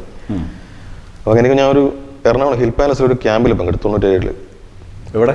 എറണാകുളം ഹിൽ പാലസിൽ ആർക്കിയോളജിയും നാഷണൽ മ്യൂസിയം ന്യൂഡൽഹിയും കൂടെ നടത്തിയൊരു ക്യാമ്പ് ഓയിൽ പെയിന്റിംഗ് റെസ്റ്റോറേഷൻ അതിന്റെ പേര്. പഴയ പഴയ രവിവർമ്മ പെയിന്റിങ്ങുകളൊക്കെ ഉണ്ട്. അതിലൊക്കെ ഡാമേജ് വന്ന് നന്നാക്കി എടുക്കുക കളർ പോയത് ടച്ച് അങ്ങനത്തെ അതിന്റെ ഒരു ക്യാമ്പാണ് അപ്പോൾ അതൊരു പതിനഞ്ച് ദിവസത്തെ ക്യാമ്പ് അപ്പോൾ ആ ക്യാമ്പിൽ പോയ സമയത്ത് അവിടെ നമ്മളൊരു പതിനഞ്ചോളം ആർട്ടിസ്റ്റുമാരുണ്ടായിരുന്നു ക്യാമ്പിൽ അവിടെ പോയപ്പോഴാണ് അതിൽ കൊമേഴ്സ്യലായിട്ട് ബോർഡ് എഴുത്ത് ചെയ്യുന്ന ഞാൻ മാത്രമേ ഉണ്ടായിട്ടുള്ളൂ. ബാക്കി എല്ലാവരും പ്രൊഫഷണലായിട്ട് ചിത്രങ്ങൾ മാത്രം വരച്ച് ജീവിക്കും. അപ്പോൾ അത് അതുവരെ എനിക്ക് അതിനെക്കുറിച്ച് ഒരു ധാരണ ഉണ്ടായിട്ടില്ല. ഞാൻ പഠിക്കുന്ന സമയത്തും എനിക്ക് ഈ ജ്വല്ലറിന്റെ ബോർഡിൽ മറ്റേ സിനിമാ നടികളെയും നടന്മാരെയും ഫോട്ടോ വരക്കുക അതൊക്കെ നമ്മൾ ആഗ്രഹം ഉണ്ടായിരുന്നു അത്രയേ ഉള്ളൂ എന്ന് ഞാൻ വിചാരിച്ചു ഇതിനെക്കുറിച്ച്. പക്ഷെ ആ ക്യാമ്പിൽ പങ്കെടുത്തപ്പോഴാണ് നമ്മൾ പഠിച്ചതും നമ്മൾ അറിയുന്നതും എല്ലാ ആർട്ട് എന്ന് മനസ്സിലായത്. കുറച്ചും കൂടി വിപുലമായ ഒരു ലോകം തീർച്ചയായിട്ടും. ആ. കാരണം ചിത്രങ്ങൾ മാത്രം വരച്ച് ജീവിക്കുന്നവർ അവരെല്ലാവരും അവരാരും ഈ കൊമേഴ്സ്യൽ ആർട്സുകളെ ഇതിൽ ഉൾപ്പെടുത്തിയിട്ടില്ല ആർട്ടിസ്റ്റുകളുടെ കൂട്ടത്തിൽ. ആ ശരി. അപ്പോൾ ആ ക്യാമ്പിൽ ഞാൻ ഒരു അന്ന് പ്രശസ്തനായിട്ടുള്ള വ്യക്തിയാണ് പ്രിൻസ് തോന്നക്കൽ എന്ന് പറയുന്നത്. അയാൾ മ്യൂറൽ പെയിന്റിംഗ് ആണ്. അപ്പോൾ അദ്ദേഹത്തിന്റെ കൂടെയാണ് ഞാൻ ഈ പതിനഞ്ച് ദിവസം താമസിച്ചത്. അന്നേരമാണ് ഞാൻ മ്യൂറൽ പെയിന്റിനെ കുറിച്ച് അറിയുന്നതും അല്ലെങ്കിൽ ഇങ്ങനെയൊക്കെ ഒരു കലാരൂപം ഇപ്പോഴും ആൾക്കാർ ചെയ്യുന്നുണ്ട് ആ സമയത്താണ് മനസ്സിലാക്കുന്നത് അതിനുശേഷം ഞാൻ പഠിക്കാൻ വേണ്ടി നാട്ടിൽ ശേഷം അന്വേഷിച്ചാണ്. അപ്പോൾ മാഹി കലാഗ്രാമത്തിലുണ്ട് എന്ന് പറഞ്ഞു. അവിടെ ഏകദേശം ഏത് പറയായിരിക്കും. അപ്പോൾ ഒരു ഇരുപത് വയസ്സൊക്കെ ആയിട്ടുണ്ടാവും ആ സമയത്ത്. ആ പി ഡി സി കഴിഞ്ഞു. ഡ്രോയിങ്ങിന് കഴിഞ്ഞു അത്രയേ ഉള്ളൂ ആ സമയത്ത്. ഈ ഡ്രോയിങ് നിങ്ങൾ ബ്രഷ് മാനിൽ പഠിക്കാൻ പോയത് വിദ്യാഭ്യാസമൊക്കെ കഴിഞ്ഞതിന് ശേഷമാണോ? എസ് എൽ സി കഴിഞ്ഞിട്ട് അതിന് പോയി. അതിന്റെ ഇടയിൽ തന്നെ പി ഡി സിയിൽ എഴുതിയെടുത്തത്. എന്റെ ഇതിന്റെ കൂടെ തന്നെ? കൂടെ തന്നെ പിന്നെ അപ്പോൾ മാഹി കലാമത്തിലുണ്ട് എന്ന് പറഞ്ഞു അപ്പോൾ അവിടെ പോയി ചോദിച്ചു. ജോയിൻ ചെയ്തു ഒരു ഒരു നാലഞ്ച് ക്ലാസ്സിനെ പോയിട്ടുള്ളൂ. അപ്പോഴും കോട്ടയത്ത് ഇങ്ങനെ പേപ്പറിൽ കണ്ടു ഒരു പിന്നെ Canada India institutional cooperation project എന്നുണ്ട്. കാനഡ സർക്കാരിന്റെ ഒരു സാമ്പത്തിക സഹായത്തോടുള്ളൊരു വിദ്യാഭ്യാസ പ്രോഗ്രാമാണ്. മ്യൂറൽ പെയിന്റിംഗ് അത് ആ ഒരുപാട് കോഴ്സുകൾ അവർ ചെയ്യുന്നുണ്ട്. അപ്പോൾ അതിലിങ്ങനെ കോട്ടയത്ത് മ്യൂറൽ പെയിന്റിംഗ് ക്ലാസ് എന്നിട്ട് പത്രത്തിൽ കണ്ടു. അപ്പോൾ പെട്ടെന്ന് തന്നെ വേഗം അതിന് അപേക്ഷ കൊടുത്തു. അവിടെ പോയി അതിലൊരു എട്ടാളെ ഉണ്ടായിട്ടുള്ളൂ മൊത്തം അറുപത് ആളിൽ അത്ര സീറ്റ് ഉണ്ടായിട്ടുള്ളൂ അപ്പോൾ അതിൽ അഡ്മിഷൻ കിട്ടി. അതിന് എന്തെങ്കിലും പ്രവേശന പരീക്ഷയോ അങ്ങനെ എന്തെങ്കിലും ഉണ്ടായിരുന്നോ? ഉണ്ടായിരുന്നു. പരീക്ഷ ഉണ്ടായിരുന്നു. അപ്പോൾ അത് അറുപത് അപേക്ഷയിൽ എട്ട് സീറ്റ് ഉണ്ടായിട്ടുള്ളൂ അപ്പോൾ പരീക്ഷ ഉണ്ടായിരുന്നു ഫീസ് ഒന്നും വേണ്ട. എല്ലാം അവരെ ഫണ്ടാണ് പക്ഷെ അവർ ആ ഒരു കോഴ്സ് നടത്തിയിട്ടില്ല. അവർക്കത് സാമ്പത്തികമായിട്ട് ഭയങ്കര നഷ്ടം എന്ന് പറയുന്നത് കാരണം ഇതിന് കളർ ഇതെല്ലാം ഒരുപാട് ചിലവുള്ളതാണ്. അപ്പോൾ ആ ക്ലാസ് കഴിഞ്ഞിട്ട് വീണ്ടും നാട്ടിലേക്ക് തന്നെ വന്നു. നാട്ടിൽ വന്നപ്പം ഒരിക്കലും നമുക്ക് അന്നും ഈ മ്യൂറൽ പെയിന്റിങ്ങിന്റെ വർക്കൊന്നും ഇവിടെ കിട്ടില്ല അതെ. ഇവിടെ പഴയ പോലെ ബോർഡിൽ തന്നെ. അന്നേരം ഇതിന്റെ ഈ ഒരു മാർക്കറ്റിംഗ് സാധ്യതയൊന്നും വേണ്ടത്ര മനസ്സിലാക്കിയിട്ടില്ല. കാരണം അതൊരു വേറൊരു ലോകമല്ലേ? വേറെ ലോകമാണ്. പക്ഷേ നമുക്ക് ഇവിടെ വന്നിട്ട് ഞാൻ പാണപ്പുഴ ആ സമയത്ത് പാണപ്പുഴയിൽ കറണ്ട് പോലും ഇല്ല വണ്ടികൾ പോകില്ല റോഡൊന്നുമില്ല അങ്ങനത്തെ ഒരു ഗ്രാമപ്രദേശം. അപ്പോൾ അവിടെ താമസിച്ചുകൊണ്ട് എനിക്ക് ഒന്നും ഒരിക്കലും ചെയ്യാൻ പറ്റില്ല ആ സമയത്ത്. നാട്ടിൽ വന്ന് ഇത് തന്നെ അവർക്ക്. പിന്നെ ഞാൻ ഈ ചലച്ചിത്ര അക്കാദമിന്റെ ഒരു ഫിലിം ഫെസ്റ്റിവൽ നടക്കും തിരുവനന്തപുരം പോയിരുന്നു. കുറച്ച് വർക്ക് ചെയ്യാൻ വേണ്ടിയിട്ട് ഇല്ലസ്ട്രേഷൻ വർക്കിന് വേണ്ടിയിട്ട് അങ്ങനെ മ്യൂറൽ തന്നെ? മ്യൂറലല്ല വേറെ? ആ ഇല്ലസ്ട്രേഷൻ അവരുടെ ബുക്കിന്റെ ഡിസൈൻ ബാക്ക് കവറുകൾ വരക്കാൻ. അങ്ങനെ പോയ സമയത്ത് ഞാൻ തിരുവനന്തപുരത്ത് വേണ്ടി പ്രിൻസിനെ കണ്ടു. അപ്പോൾ അയാളെ കണ്ടു. അങ്ങനെ നമ്മൾ റോഡിൽ നടന്ന് നമുക്ക് പെട്ടെന്ന് കണ്ടതാണ്. അപ്പോൾ തിരുവനന്തപുരം പോകുമ്പോൾ അയാൾ കാണണം തന്നെ മനസ്സിലാഗ്രഹം ഉണ്ടായിരുന്നു തിരുവനന്തപുരംകാരനാണ്. അപ്പോൾ അങ്ങനെ അയാളെ കണ്ടു. അയാളെ വീട്ടിൽ പോയി. നമ്മൾ പഴയ ആ ക്യാമ്പിൽ പങ്കെടുത്ത ഒരു ഓർമ്മയുണ്ട്. അങ്ങനെ വീട്ടിൽ പോയി കുറച്ച് ദിവസം നിന്നു. എന്നിട്ട് അദ്ദേഹം പറഞ്ഞു വർക്ക് ഞാൻ വിളിക്കാൻ വരണം എന്ന് പറഞ്ഞു തിരിച്ചും വരാമെന്ന് പറഞ്ഞു. കാരണം നമുക്ക് കുറച്ച് കോൺഫിഡൻസ് വന്നു അല്ലേ? ആ അപ്പം യൂറോപ്പിന് കോഴ്സ് കഴിഞ്ഞ് വർക്ക് ചെയ്യുന്നുണ്ട്. ചെയ്യാൻ അറിയാന്നുള്ളൊരു ഇത് വന്നു. പിന്നെ തിരിച്ച് വീട്ടിൽ വന്നു.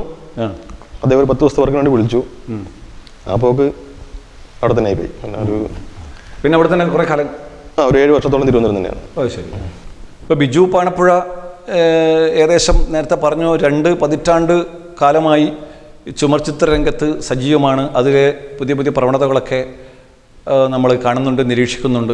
അപ്പോൾ താങ്കൾ ഇത് ഈ രംഗത്തേക്ക് അതായത് ഒരു ഇരുപത് വർഷം മുമ്പ് ഈ രംഗത്തേക്ക് വരുന്ന സമയത്ത് താങ്കളുടെ ഗുരുക്കന്മാർ വരച്ചിട്ടുള്ള ചിത്രങ്ങളുണ്ട്. അതുപോലെ തന്നെ ഇപ്പോൾ അടുത്ത കാലത്തായി താങ്കൾ തന്നെ നേരത്തെ സൂചിപ്പിച്ചു ധാരാളം ആളുകൾ ഈ രംഗത്തേക്ക് പല കാരണങ്ങളാൽ അല്ലെങ്കിൽ പലതരം താല്പര്യങ്ങളാൽ വന്നിട്ടുണ്ട്. താങ്കൾ തന്നെ നേരത്തെ സൂചിപ്പിച്ചിട്ടുള്ള കാര്യങ്ങളാണ്. ഇപ്പോൾ ഈ പഴയ കാലത്തെ ചുമർ ചിത്രങ്ങളും ഇപ്പോൾ പുതുതായിട്ട് വരയ്ക്കുന്ന ചുമർ ചിത്രങ്ങളും ഒരു കാലത്തിന്റെ അന്തരമുണ്ടല്ലോ അതിൽ എന്തെങ്കിലും വ്യത്യാസങ്ങൾ താങ്കൾക്ക് നിരീക്ഷിക്കാനുണ്ടോ? അതായത് അതിന്റെ ക്വാളിറ്റിയിലോ മറ്റോ വല്ല കുറവോ മറ്റോ വന്നിട്ടുണ്ടോ? എന്ത് പറയുന്നു? അല്ല ക്വാളിറ്റി ഒന്നും കുറയുന്നില്ല. നമ്മൾ കുറച്ചുകൂടി സൗന്ദര്യം വർദ്ധിപ്പിക്കാനുള്ള നമ്മൾ ചെയ്തുകൊണ്ടിരിക്കുന്ന തോറും ഇപ്പോൾ ഒരു പത്ത് വർഷം മുമ്പ് ചെയ്ത വർക്കും ഇന്ന് ചെയ്യുന്ന വർക്കും തമ്മിൽ ഇന്നത്തെ ആരും കുറച്ചുകൂടി ഭംഗി എനിക്ക് തോന്നുന്നത്. പക്ഷേ പുതിയ സംഗതിയെ ഉൾക്കൊണ്ടിട്ട് നടത്തല്ലേ തീർച്ചയായിട്ടും. മറ്റത് പണ്ട് കാലത്തെ ഉള്ളത് അതേപോലെ കോപ്പി ചെയ്ത് വന്നൊരു സമയമാണ്. പിന്നെ ഇപ്പം നമ്മൾ കുറേ പ്രാക്ടീസ് ചെയ്യും നമുക്ക് തന്നെ ഓട്ടോമാറ്റിക് ചില ഐഡിയകൾ വരികയും പുതിയ ചിത്രങ്ങൾ ചെയ്യുകയും ചെയ്യുന്നു അപ്പം ഇപ്പം ചെയ്യുന്നതാണ് കുറച്ചുകൂടി നല്ലത് എന്റെ അഭിപ്രായം. തീർച്ചയായിട്ടും. അപ്പോൾ അതുപോലെ തന്നെ താങ്കൾ നേരത്തെ സൂചിപ്പിച്ച തിരുവനന്തപുരം പത്മനാഭ സാക്ഷ്യത്തിലൊക്കെ പഴയ പഴയെന്ന് പറഞ്ഞാൽ ഏത് കാലത്ത് നമുക്ക് തന്നെ നിർണയിക്കാൻ പറ്റാത്ത അത്രയും പഴക്കമുള്ള അങ്ങനെ കേരളത്തിലുടനീളം ഈ നാശാന്മുഖമായിട്ടുള്ള ചുമർ ചിത്രങ്ങളുണ്ട്. അതൊക്കെ ഈ പുനരുദ്ധരിക്കുന്ന എന്തെങ്കിലും പരിപാടികൾ നിങ്ങളെ ചുമർചിത്രകാരന്മാരുടെ ഭാഗത്ത് ഉണ്ടായിട്ടുണ്ടോ അതോ ഈ ക്ഷേത്ര ഭാരവാഹികളുടെ മുൻകൈയുടെ കുറവാണോ? ക്ഷേത്ര ഭാരവാഹികളുടെ ഉദാസീനത തന്നെയാണ്. പിന്നെ ഒട്ടുമിക്ക ക്ഷേത്രങ്ങളും പഴയ ചിത്രങ്ങളിലൊക്കെ ആർക്കിയോളജി ഏറ്റെടുത്താണ്. ഈ ആർക്കിയോളജി ഏറ്റെടുത്ത് കഴിഞ്ഞാൽ അവർ അവിടെ ചിത്രങ്ങൾ സംരക്ഷിക്കുകയുള്ളൂ ആ ഉള്ളത്. ഒന്നും റിന്യൂ ചെയ്യില്ല. റിന്യൂ ചെയ്യുന്നില്ല. അങ്ങനെ എന്നുള്ളതാണ് അങ്ങനെ നിർത്തണം എന്നുള്ളതാണ് അവർ അവർ ഇത് പോളിസി പോളിസി അതാണ്. അപ്പൊ അത് ശരിക്കും പറഞ്ഞാൽ അമ്പലത്തിന് ഭംഗി കുറേ ഇന്ന് ആ. പഴയ പോയതും പൊളിഞ്ഞതും അല്ല അതിന്റെ ആ പഴമയുടെ മൗലികം നഷ്ടപ്പെടാതെ അത് പുതുക്കുന്നതിൽ തെറ്റില്ലല്ലോ. തെറ്റില്ല. പക്ഷെ ആർക്കിയോളജി അങ്ങനെ ചെയ്യുന്നില്ല. അവർ ചെയ്യുന്നില്ല എന്നുള്ളതാണ് യാഥാർത്ഥ്യം അല്ലേ? അതാണ് സത്യം. ഹരിദാസ് ഓമന ദമ്പതികളുടെ മകനായി പാണപ്പുഴയിൽ ജനിച്ച ബിജു കുറ്റൂർ മാതമംഗലം എന്നിവിടങ്ങളിൽ നിന്ന് സ്കൂൾ വിദ്യാഭ്യാസം പൂർത്തിയാക്കിയ ശേഷം കണ്ണൂർ ബ്രഷ്മൻ സ്കൂൾ ഓഫ് ആർട്സിൽ നിന്നും ചിത്രകല അഭ്യസിച്ചു. ഫൈൻ ആർട്സിൽ കെ ജി സി ഇ പാസ്സായ അദ്ദേഹം പ്രശസ്ത ചുമർ ചിത്രകലാകാരനായ പ്രിൻസ് തോന്നക്കലിൽ നിന്നാണ് ചുമർ ചിത്രകല അഭ്യസിക്കുന്നത്. പിന്നീട് കനഡ ഇന്ത്യൻ ഇൻസ്റ്റിറ്റ്യൂഷണൽ കോർപ്പറേഷനിൽ നിന്നും ചുമർ ചിത്രകലയിൽ ത്രിവത്സര കോഴ്സ് പൂർത്തിയാക്കി. ചുമർ ചിത്രകലയിലെ കേരളത്തിലെ അറിയപ്പെടുന്ന കലാകാരന്മാരിൽ ഒരാളായ ബിജു പാണപ്പുഴ പഴശ്ശിരാജ വടക്കുംനാഥൻ നൻപൻ തുടങ്ങി നാൽപ്പതോളം സിനിമകൾക്ക് കലാസംവിധാനത്തിലും പ്രവർത്തിച്ചിട്ടുണ്ട്. അപ്പോൾ ബിജുവിന് ഇതുമായി ബന്ധപ്പെട്ട് ഇപ്പോൾ നേരത്തെ പറഞ്ഞല്ലോ രണ്ട് ദശകം എന്ന് പറഞ്ഞില്ലേ? ഇപ്പോൾ എന്തെങ്കിലും അവാർഡുകൾ അംഗീകാരങ്ങൾ അങ്ങനെ എന്തെങ്കിലും ഉണ്ടായിട്ടുണ്ടോ? എന്തൊക്കെ ഉണ്ടായിട്ടുണ്ട്? അംഗീകാരങ്ങൾ ഈ വർഷം പിന്നെ നമ്മുടെ സംസ്ഥാനത്ത് ആദ്യമായിട്ടാണ് ചുമർചിത്രകൾക്ക് ഒരു അവാർഡ് കൊടുത്തത് സർക്കാരിന്റെ ആദ്യത്തെ അവാർഡ് ഏത് അക്കാദമിന്റെ ആണ്? ക്ഷേത്രകല അക്കാദമിയുടെ അപ്പോൾ അതൊരു ആദ്യമായിട്ടാണ്. കേരളത്തിൽ ഇതുവരെ ചുമർചിത്രകൾക്ക് അവാർഡ് കൊടുത്തിട്ടില്ല. അപ്പോൾ ആദ്യത്തെ അവാർഡ് കിട്ടി. വലിയ സന്തോഷം താങ്കൾക്ക് മാത്രമല്ല ആ ചുമർചിത്ര പ്രസ്ഥാനത്തിന് ഒരു അംഗീകാരം പിന്നെ കാരണം ഇത്രയോ കലാകാരന്മാരുണ്ട്. അപ്പോൾ സർക്കാർ അവാർഡ് നമ്മളിപ്പോൾ പലപ്പോഴും ആഗ്രഹിക്കും. കാരണം നമുക്ക് ഒരിക്കലും അവാർഡ് കിട്ടില്ല കാരണം ഇതിന് അവാർഡ് കൊടുക്കുന്നില്ലല്ലോ അതുകൊണ്ട്.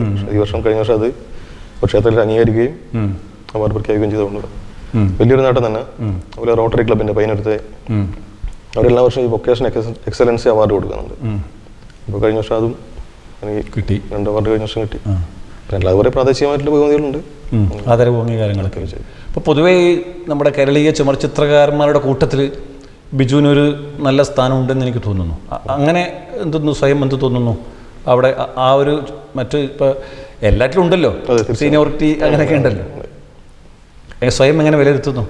അല്ല എനിക്കും സീനിയറായിട്ട് കുറേ ആൾക്കാരുണ്ട്. എന്നാലും എനിക്കൊരു പത്തിരുന്നൂറോളം ശിഷ്യന്മാരുണ്ട്. ഒരു ശിഷ്യ സമ്പത്തുണ്ട്. അതുകൊണ്ടൊരു മോശമില്ലാത്തൊരു സ്ഥാനമുണ്ട്. തീർച്ചയായും. ഒരു വലിയ സന്തോഷമുണ്ട്. പിന്നെ കൂടാതെ ഈ താങ്കളുടേതായ കുറേ കുറേ സംഭാവനകളുമുണ്ട് ഇപ്പം കരുണ എന്നുള്ള കവിതയെ ആസ്പദമാക്കിക്കൊണ്ട് ഒരു ചുമർച്ചിത്ത് സ്കൂൾ നടത്തുക അല്ല ഞാനൊരു മാധവകാലത്ത് ഒരു വായനശാല ചെയ്തിട്ടുണ്ട്. ജ്ഞാനഭാരതി ജ്ഞാനഭാരതി. അതിന്റെ ചുമരിലുണ്ട്. ആ. അത് അല്ല ഞാൻ പറഞ്ഞ അത്തരം പ്രസ്ഥാനങ്ങളൊക്കെ ഈ ചുമർചിത്ര ഇതിൽ വ്യത്യസ്തമായിട്ടുള്ള ശൈലിയാണല്ലോ. തീർച്ചയായിട്ടും. കാരണം ഒന്ന് വായനശാല ചുമരിൽ അവർ ചിത്രം വരക്കാൻ വേണ്ടി ചുമര് തന്നു എന്നുള്ള വലിയ സന്തോഷമുള്ള കാര്യം. കാരണം ഒരു വലിയ വിപ്ലവമാണ്. കാരണം ഇത് കൊട്ടാരത്തിലും ക്ഷേത്രങ്ങളിലും ഒരു കലയാണ്. നമ്മൾ സാധാരണ ഒരു വായനശാല ചുമരിൽ കൊണ്ടുവരിക എന്ന് പറഞ്ഞാൽ. ഇപ്പം ഞാൻ അതെല്ലാവരോടും പറയുന്നത് കാരണം നമ്മൾ പഠിപ്പിക്കുമ്പോഴും കാരണം നമ്മളൊരു പബ്ലിക് പ്ലേസിലേക്ക് വരണം. എന്നാലും നമ്മളെ ചിത്രങ്ങൾ ആൾക്കാർ കാണുന്നല്ലോ. അപ്പം ഞാൻ ഇത്ര വർഷമായിട്ടും എന്റെ നാട്ടിൽ ആൾക്കാർ ചിത്രം കണ്ട് കണ്ടത് ആദ്യമായിട്ട് അതാണ്. അപ്പം ആ ചിത്രം വന്നതുകൊണ്ടാണ് ചുമർചിത്രം എന്ന് പറയുന്നല്ലാതെ അത് കാണുന്നത് നമ്മുടെ ഗുരുവായൂരൊക്കെ ചുമർചിത്രത്തിന്റെ കളരി അത് അ- അങ്ങ് തീർച്ചയായും. ഉണ്ടല്ലോ ഗുരുവായൂരാണ് ആദ്യത്തെ ചുമർചിത്ര പഠന കേന്ദ്രം തുടങ്ങിയത്. അത് എൺപത്തി ഒമ്പതിൽ തുടങ്ങിയത്. അവിടെ നിന്നാണ് ബാക്കി എല്ലാവരും വന്നത്. അവിടെ ഒരു ഒരു ബാച്ചിൽ പത്താളെ എടുക്കുക. ശരിക്കും പറഞ്ഞാൽ ഒരു ചുമർചിത്രം വീണ്ടും ഒന്ന് സജീവാവുന്ന അത് അന്ന് തൊട്ടാണ് അന്ന് മുതലാണ്. പിന്നെ അതുകൊണ്ട് ലിബാർ പ്രശ്നം ഇപ്പം ഞാൻ ഇപ്പം എനിക്ക് അവാർഡ് കിട്ടുമ്പോൾ സന്തോഷം എന്ന് പറയുമ്പം ഇത് ഗുരുവായൂർ പഠിച്ചവർ മാത്രമാണ് ഈ കല ചെയ്യുന്നൊരു ധാരണ. പൊതുവേ നമ്മളെവിടെ പോയി ചോദിക്കില്ല ഗുരുവായൂർ പഠിച്ചാന്ന്? ഇപ്പം നമ്മളല്ലാന്ന് പറയുമ്പം നമുക്കിതെന്തോ നമ്മളറിവ് കുറവുണ്ടോ. നോട്ടത്തിലൊരു ഇത് വന്നു അല്ലേ? അപ്പോൾ ഗുരുവായൂർ പഠിച്ച പഠിക്കാത്ത ഒരാളാണ് ആദ്യത്തെ അവാർഡ് ആ കാര്യം. കാരണം അല്ലാത്തവരും ഇത് ചെയ്യുന്ന എല്ലാവരും ഒരുപോലെ തന്നെയാണ്. ഇപ്പോൾ അവിടെ പഠിച്ചത് കൊണ്ട് മാത്രം നന്നാവണമെന്നില്ല. അതുകൊണ്ട് അവിടെ പഠിക്കാത്തവരാരും മോശമല്ല എന്നുള്ളത് മനസ്സിലാക്കണം അല്ലേ? തീർച്ചയായിട്ടും. അല്ല ഞാൻ ചോദിച്ചു വന്നതല്ല ഞാൻ പറഞ്ഞ അതുപോലുള്ള കളരികൾ നമുക്ക് ഈ മലബാറിലോ അല്ലെങ്കിൽ അങ്ങനെ അങ്ങനെയൊക്കെ ചെയ്യാൻ ഇപ്പോൾ താങ്കളോട് ഞാൻ നേരത്തെ ചോദിച്ചു ഇങ്ങനെ ഇവർക്ക് എന്തെങ്കിലും അസോസിയേഷനോ അങ്ങനെ എന്തെങ്കിലും ഉണ്ടോ. അപ്പോൾ അതിന്റെ ഒരു കുറവ് അതിനകത്ത് ഉണ്ടോ? എനിക്ക് കുറവുണ്ട്. പിന്നെ ഇതിന്റെ വേറൊരു പ്രശ്നം എന്താണെന്ന് വെച്ചാൽ ഇപ്പം എല്ലാവർക്കും ഇൻസ്റ്റന്റ് ആണ്. പെട്ടെന്ന് പെട്ടെന്ന് സംഗതി ആവണം. ആവണം. അപ്പോൾ ഗുരുവായൂർ അഞ്ച് വർഷത്തെ കോഴ്സാണ്. ഇപ്പം അഞ്ച് വർഷം പഠിക്കണം എന്ന് ആർക്കും താല്പര്യമില്ല. മൂന്ന് മാസം കൊണ്ട് നാല് മാസം കൊണ്ട്. നാല് മാസം കൊണ്ട്. അങ്ങനെ എത്രയും ചുരുങ്ങിയ ക്ലാസ്സുകൾ. അപ്പം അങ്ങനത്തെ ഒരുപാട് ക്ലാസ്സുകൾ നടക്കുന്നുണ്ട്. ഞാൻ എടുക്കുന്നുണ്ട് മുപ്പത് ദിവസത്തെ ക്ലാസ്. അപ്പം ഞാൻ ആദ്യമൊക്കെ എടുത്തതും അത്ര സീരിയസ് ആയിട്ട് അല്ലായിരുന്നു. എനിക്ക് വന്ന അത്ര ധാരണയില്ല. പക്ഷേ ഇപ്പം മറ്റൊരുപാട് ക്ലാസ് വന്നപ്പോൾ നമുക്ക് മനസ്സിലായി. നമ്മുടെ ക്ലാസ് പോരാൻ തോന്നി. അപ്പോൾ അതുകൊണ്ട് ഇപ്പം അതിന്റെ ശൈലികളൊന്ന് മാറ്റി. കാരണം അവരും നന്നായിട്ട് പഠിക്കണം. ഞാൻ പക്ഷേ എപ്പോഴും പറയാറുണ്ട്. കാരണം ഇവർ മുപ്പത് ദിവസം ഇരുപത് ദിവസം ക്ലാസ് കഴിഞ്ഞിട്ട് മീറൽ പെന്ന് ഒരു ശതമാനം ആവുന്നില്ല. വീണ്ടും പഠിക്കണം ചിത്രങ്ങൾ ചിത്രങ്ങളിലും പെയിന്റിങ്ങിലെല്ലാം നല്ല അടിസ്ഥാനം ഉള്ളൊരാക്കല്ലേ അങ്ങനെ പറ്റുള്ളൂ. തീർച്ചയായിട്ടും. ഇനി അടിസ്ഥാനമൊന്നും ഇല്ലെങ്കിലും ഒരാൾ ആഗ്രഹിച്ച് വന്നു കഴിഞ്ഞാൽ ഒരു ഒന്നോ രണ്ടോ വർഷം മെനക്കെടുക്കുകയാണെങ്കിൽ തീർച്ചയായിട്ടും പഠിച്ചെടുക്കാം. എടുക്കാൻ പറ്റും. എന്നാൽ കലാകാരനാവണ്ടേ? കലാകാരനായിരിക്കണം. അതോ വെറും ക്രാഫ്റ്റ് കൊണ്ട് മാത്രം ചെയ്യാൻ പറ്റുമോ? തീർച്ചയായും പ്രാക്ടീസ് കൊണ്ട് പറ്റും. പറ്റും. ആ ഒരു മനസ്സുണ്ടെങ്കിൽ തീർച്ചയായിട്ടും ഇപ്പോൾ നമ്മുടെ പയ്യന്നൂർ നെറ്റ്വർക്ക് ചാനലിന്റെ നേർവഴി എന്നുള്ള പരിപാടിക്ക് വേണ്ടി ബിജു പണപ്പുഴയെ പോലുള്ളൊരു ചുമർ നേരത്തെ പറഞ്ഞ പോലെ കലാകാരൻ എന്ന് പറഞ്ഞാൽ പോരാ വളരെ സവിശേഷതയുള്ള ചുമർചിത്രം എന്ന് പറയുന്ന ചിത്രകലയിൽ നിന്ന് വ്യത്യസ്തമായിട്ടുള്ള ഒരു പ്രസ്ഥാനത്തെ ഇരുപത് വർഷമായി പിന്തുടരുന്ന ഒരു പ്രതിഭാശാലി ഒരു കലാകാരനെ പരിചയപ്പെടുത്തുന്നു. അതിൽ വളരെ സന്തോഷമുണ്ട്. അവസാനിപ്പിക്കണം അതിന് മുമ്പേ ഒറ്റ ചോദ്യം കൂടി. എന്താണ് ഭാവി പരിപാടി? എന്തെങ്കിലും ഒരു നമ്മൾ താങ്കൾ യുവാവാണ്. അപ്പോൾ ഇതുമായി ബന്ധപ്പെട്ടുകൊണ്ടുള്ള അതിനിടയ്ക്ക് നിങ്ങൾ കുടുംബമൊക്കെ ഉണ്ടോ? ഭാര്യയും മക്കളും കല്യാണം കഴിച്ചു ഞാൻ കല്യാണം കഴിച്ചിട്ടില്ല. സിംഗിളായിട്ട് ഇങ്ങനെ പോവാണ് ഇപ്പം. കല മാത്രം മതി എന്നാണോ അതോ ആയിട്ടുള്ള സമയമല്ല ഞാൻ പിന്നെ ഇപ്പം ഈ കുടുംബം കുട്ടികളുടെ വിവാഹം എന്നും പറയുന്നത് ലോകമുള്ള കാലം മുതലേ ഉള്ളതാണ് പറയുന്നത്. അപ്പൊ അതിന് വ്യത്യസ്തമായിട്ടൊന്നും ചെയ്യുമ്പോഴാണ് ജീവിതം എന്നുള്ളത് ഞാൻ വിശ്വസിക്കുന്നത്. എന്നുവെച്ചാൽ കല്യാണം വേണ്ടെന്ന് ഞാൻ ഒരിക്കലും പറയുന്നില്ല. എനിക്ക് അതിനോട് എതിർപ്പില്ല. പക്ഷേ സമയമാവട്ടെ അല്ലേ അപ്പൊ അത് ഇല്ലെങ്കിലും കുഴപ്പമൊന്നും കുഴപ്പമില്ല. കാരണം നമ്മുടെ ജീവിതം നമ്മളല്ലേ ജീവിക്കണ്ടേ? അതെ അതെ. നമ്മൾ അടയാളപ്പെടുത്തുന്നില്ല ഞാൻ ചോദിച്ചേ ഉള്ളൂ. കാരണം പ്രേക്ഷകരുടെ ഒരു സംശയം ഉണ്ടാവും. കാരണം സാധാരണ നമ്മൾ ഫാമിലിനൊക്കെ പരിചയപ്പെടുത്തുന്ന ആരും കാണുന്നില്ലല്ലോ എന്ന് നമ്മൾ പ്രേക്ഷകർ വിചാരിക്കും. ഞാനിപ്പം ഇനിയിപ്പോൾ ഞാൻ കല്യാണം കഴിക്കില്ല എന്നല്ല ഞാൻ പറഞ്ഞത്. ചിലപ്പോൾ അടുത്ത വർഷം കഴിക്കും അങ്ങനെയല്ല. പക്ഷെ അത് ഒരു പ്രധാന സംഭവം ഞാൻ എടുക്കുന്നില്ല ലൈഫിൽ ഉള്ളൂ. അപ്പോൾ എന്താണ് നമ്മുടെ ഞാൻ ചോദിച്ചു വന്നത്? എന്താണ് ഒരു ഭാവി പരിപാടി വല്ലതും ഉണ്ടോ? ഒരു സ്വപ്നം അല്ലെങ്കിൽ ഒരു ലക്ഷ്യം അങ്ങനെ എന്തെങ്കിലും ഉണ്ടോ? ഇതുമായി ബന്ധപ്പെട്ടുണ്ടോ അതോ ഇതുപോലെ പോന്നത്ര പോട്ട് എന്നാണോ അല്ല ഇതുപോലെ ഇങ്ങനെ പോകാന്നല്ല ലക്ഷ്യങ്ങളുണ്ട്. തീർച്ചയായിട്ടും ഇനിയിപ്പം എനിക്ക് കുറച്ചുകൂടി വലിയ ചിത്രങ്ങൾ ചെയ്ത് എക്സിബിഷൻ വെക്കുവാന്നില്ല. കാരണം അവിടെ കാഴ്ചക്കാരൻ എപ്പോഴും ചിത്രത്തിന് മുമ്പിൽ ചെറുതായിരിക്കണം എന്നുള്ളൊരു ആഗ്രഹം. മനസ്സിങ്ങനെ തോന്നി? മ്യൂറലായിട്ട് ബന്ധപ്പെട്ടാണ്. മ്യൂറൽ ബന്ധപ്പെട്ടല്ല മ്യൂറൽ പെയിന്റിങ്ങിൽ പുതിയ പുതിയ സബ്ജക്റ്റുകൾ ചെയ്യുക എന്നുള്ളതാണ്. മറ്റാരും ചെയ്യാത്ത കാര്യങ്ങൾ ചെയ്യുക. അതിന്റെ ആ ഒരു ട്രഡീഷണൽ ഇതൊക്കെ ബ്രേക്ക് ചെയ്യുക അല്ലേ? ജനകീയമാവുക ജനകീയമാവുക. കുറേ കുറച്ചും കൂടി. കുറച്ചും കൂടി തീർച്ചയായിട്ടും. കാരണം ഇതിൽ ചെയ്യാൻ പറ്റില്ലാന്ന് വിശ്വസിക്കുന്ന കുറേ സബ്ജക്റ്റുകളുണ്ട്. അതൊക്കെ ചെയ്യുക എന്നുള്ളതാണ്. അങ്ങനെ എന്തും ഇതിൽ ചെയ്യാൻ പറ്റുമെന്ന് തീർച്ചയായിട്ടും. താങ്കളുടെ സംരംഭങ്ങളെല്ലാം വിജയിക്കും. എല്ലാ ഭാവുകങ്ങളും നേരുന്നു. ഒരുപാട് സന്തോഷം.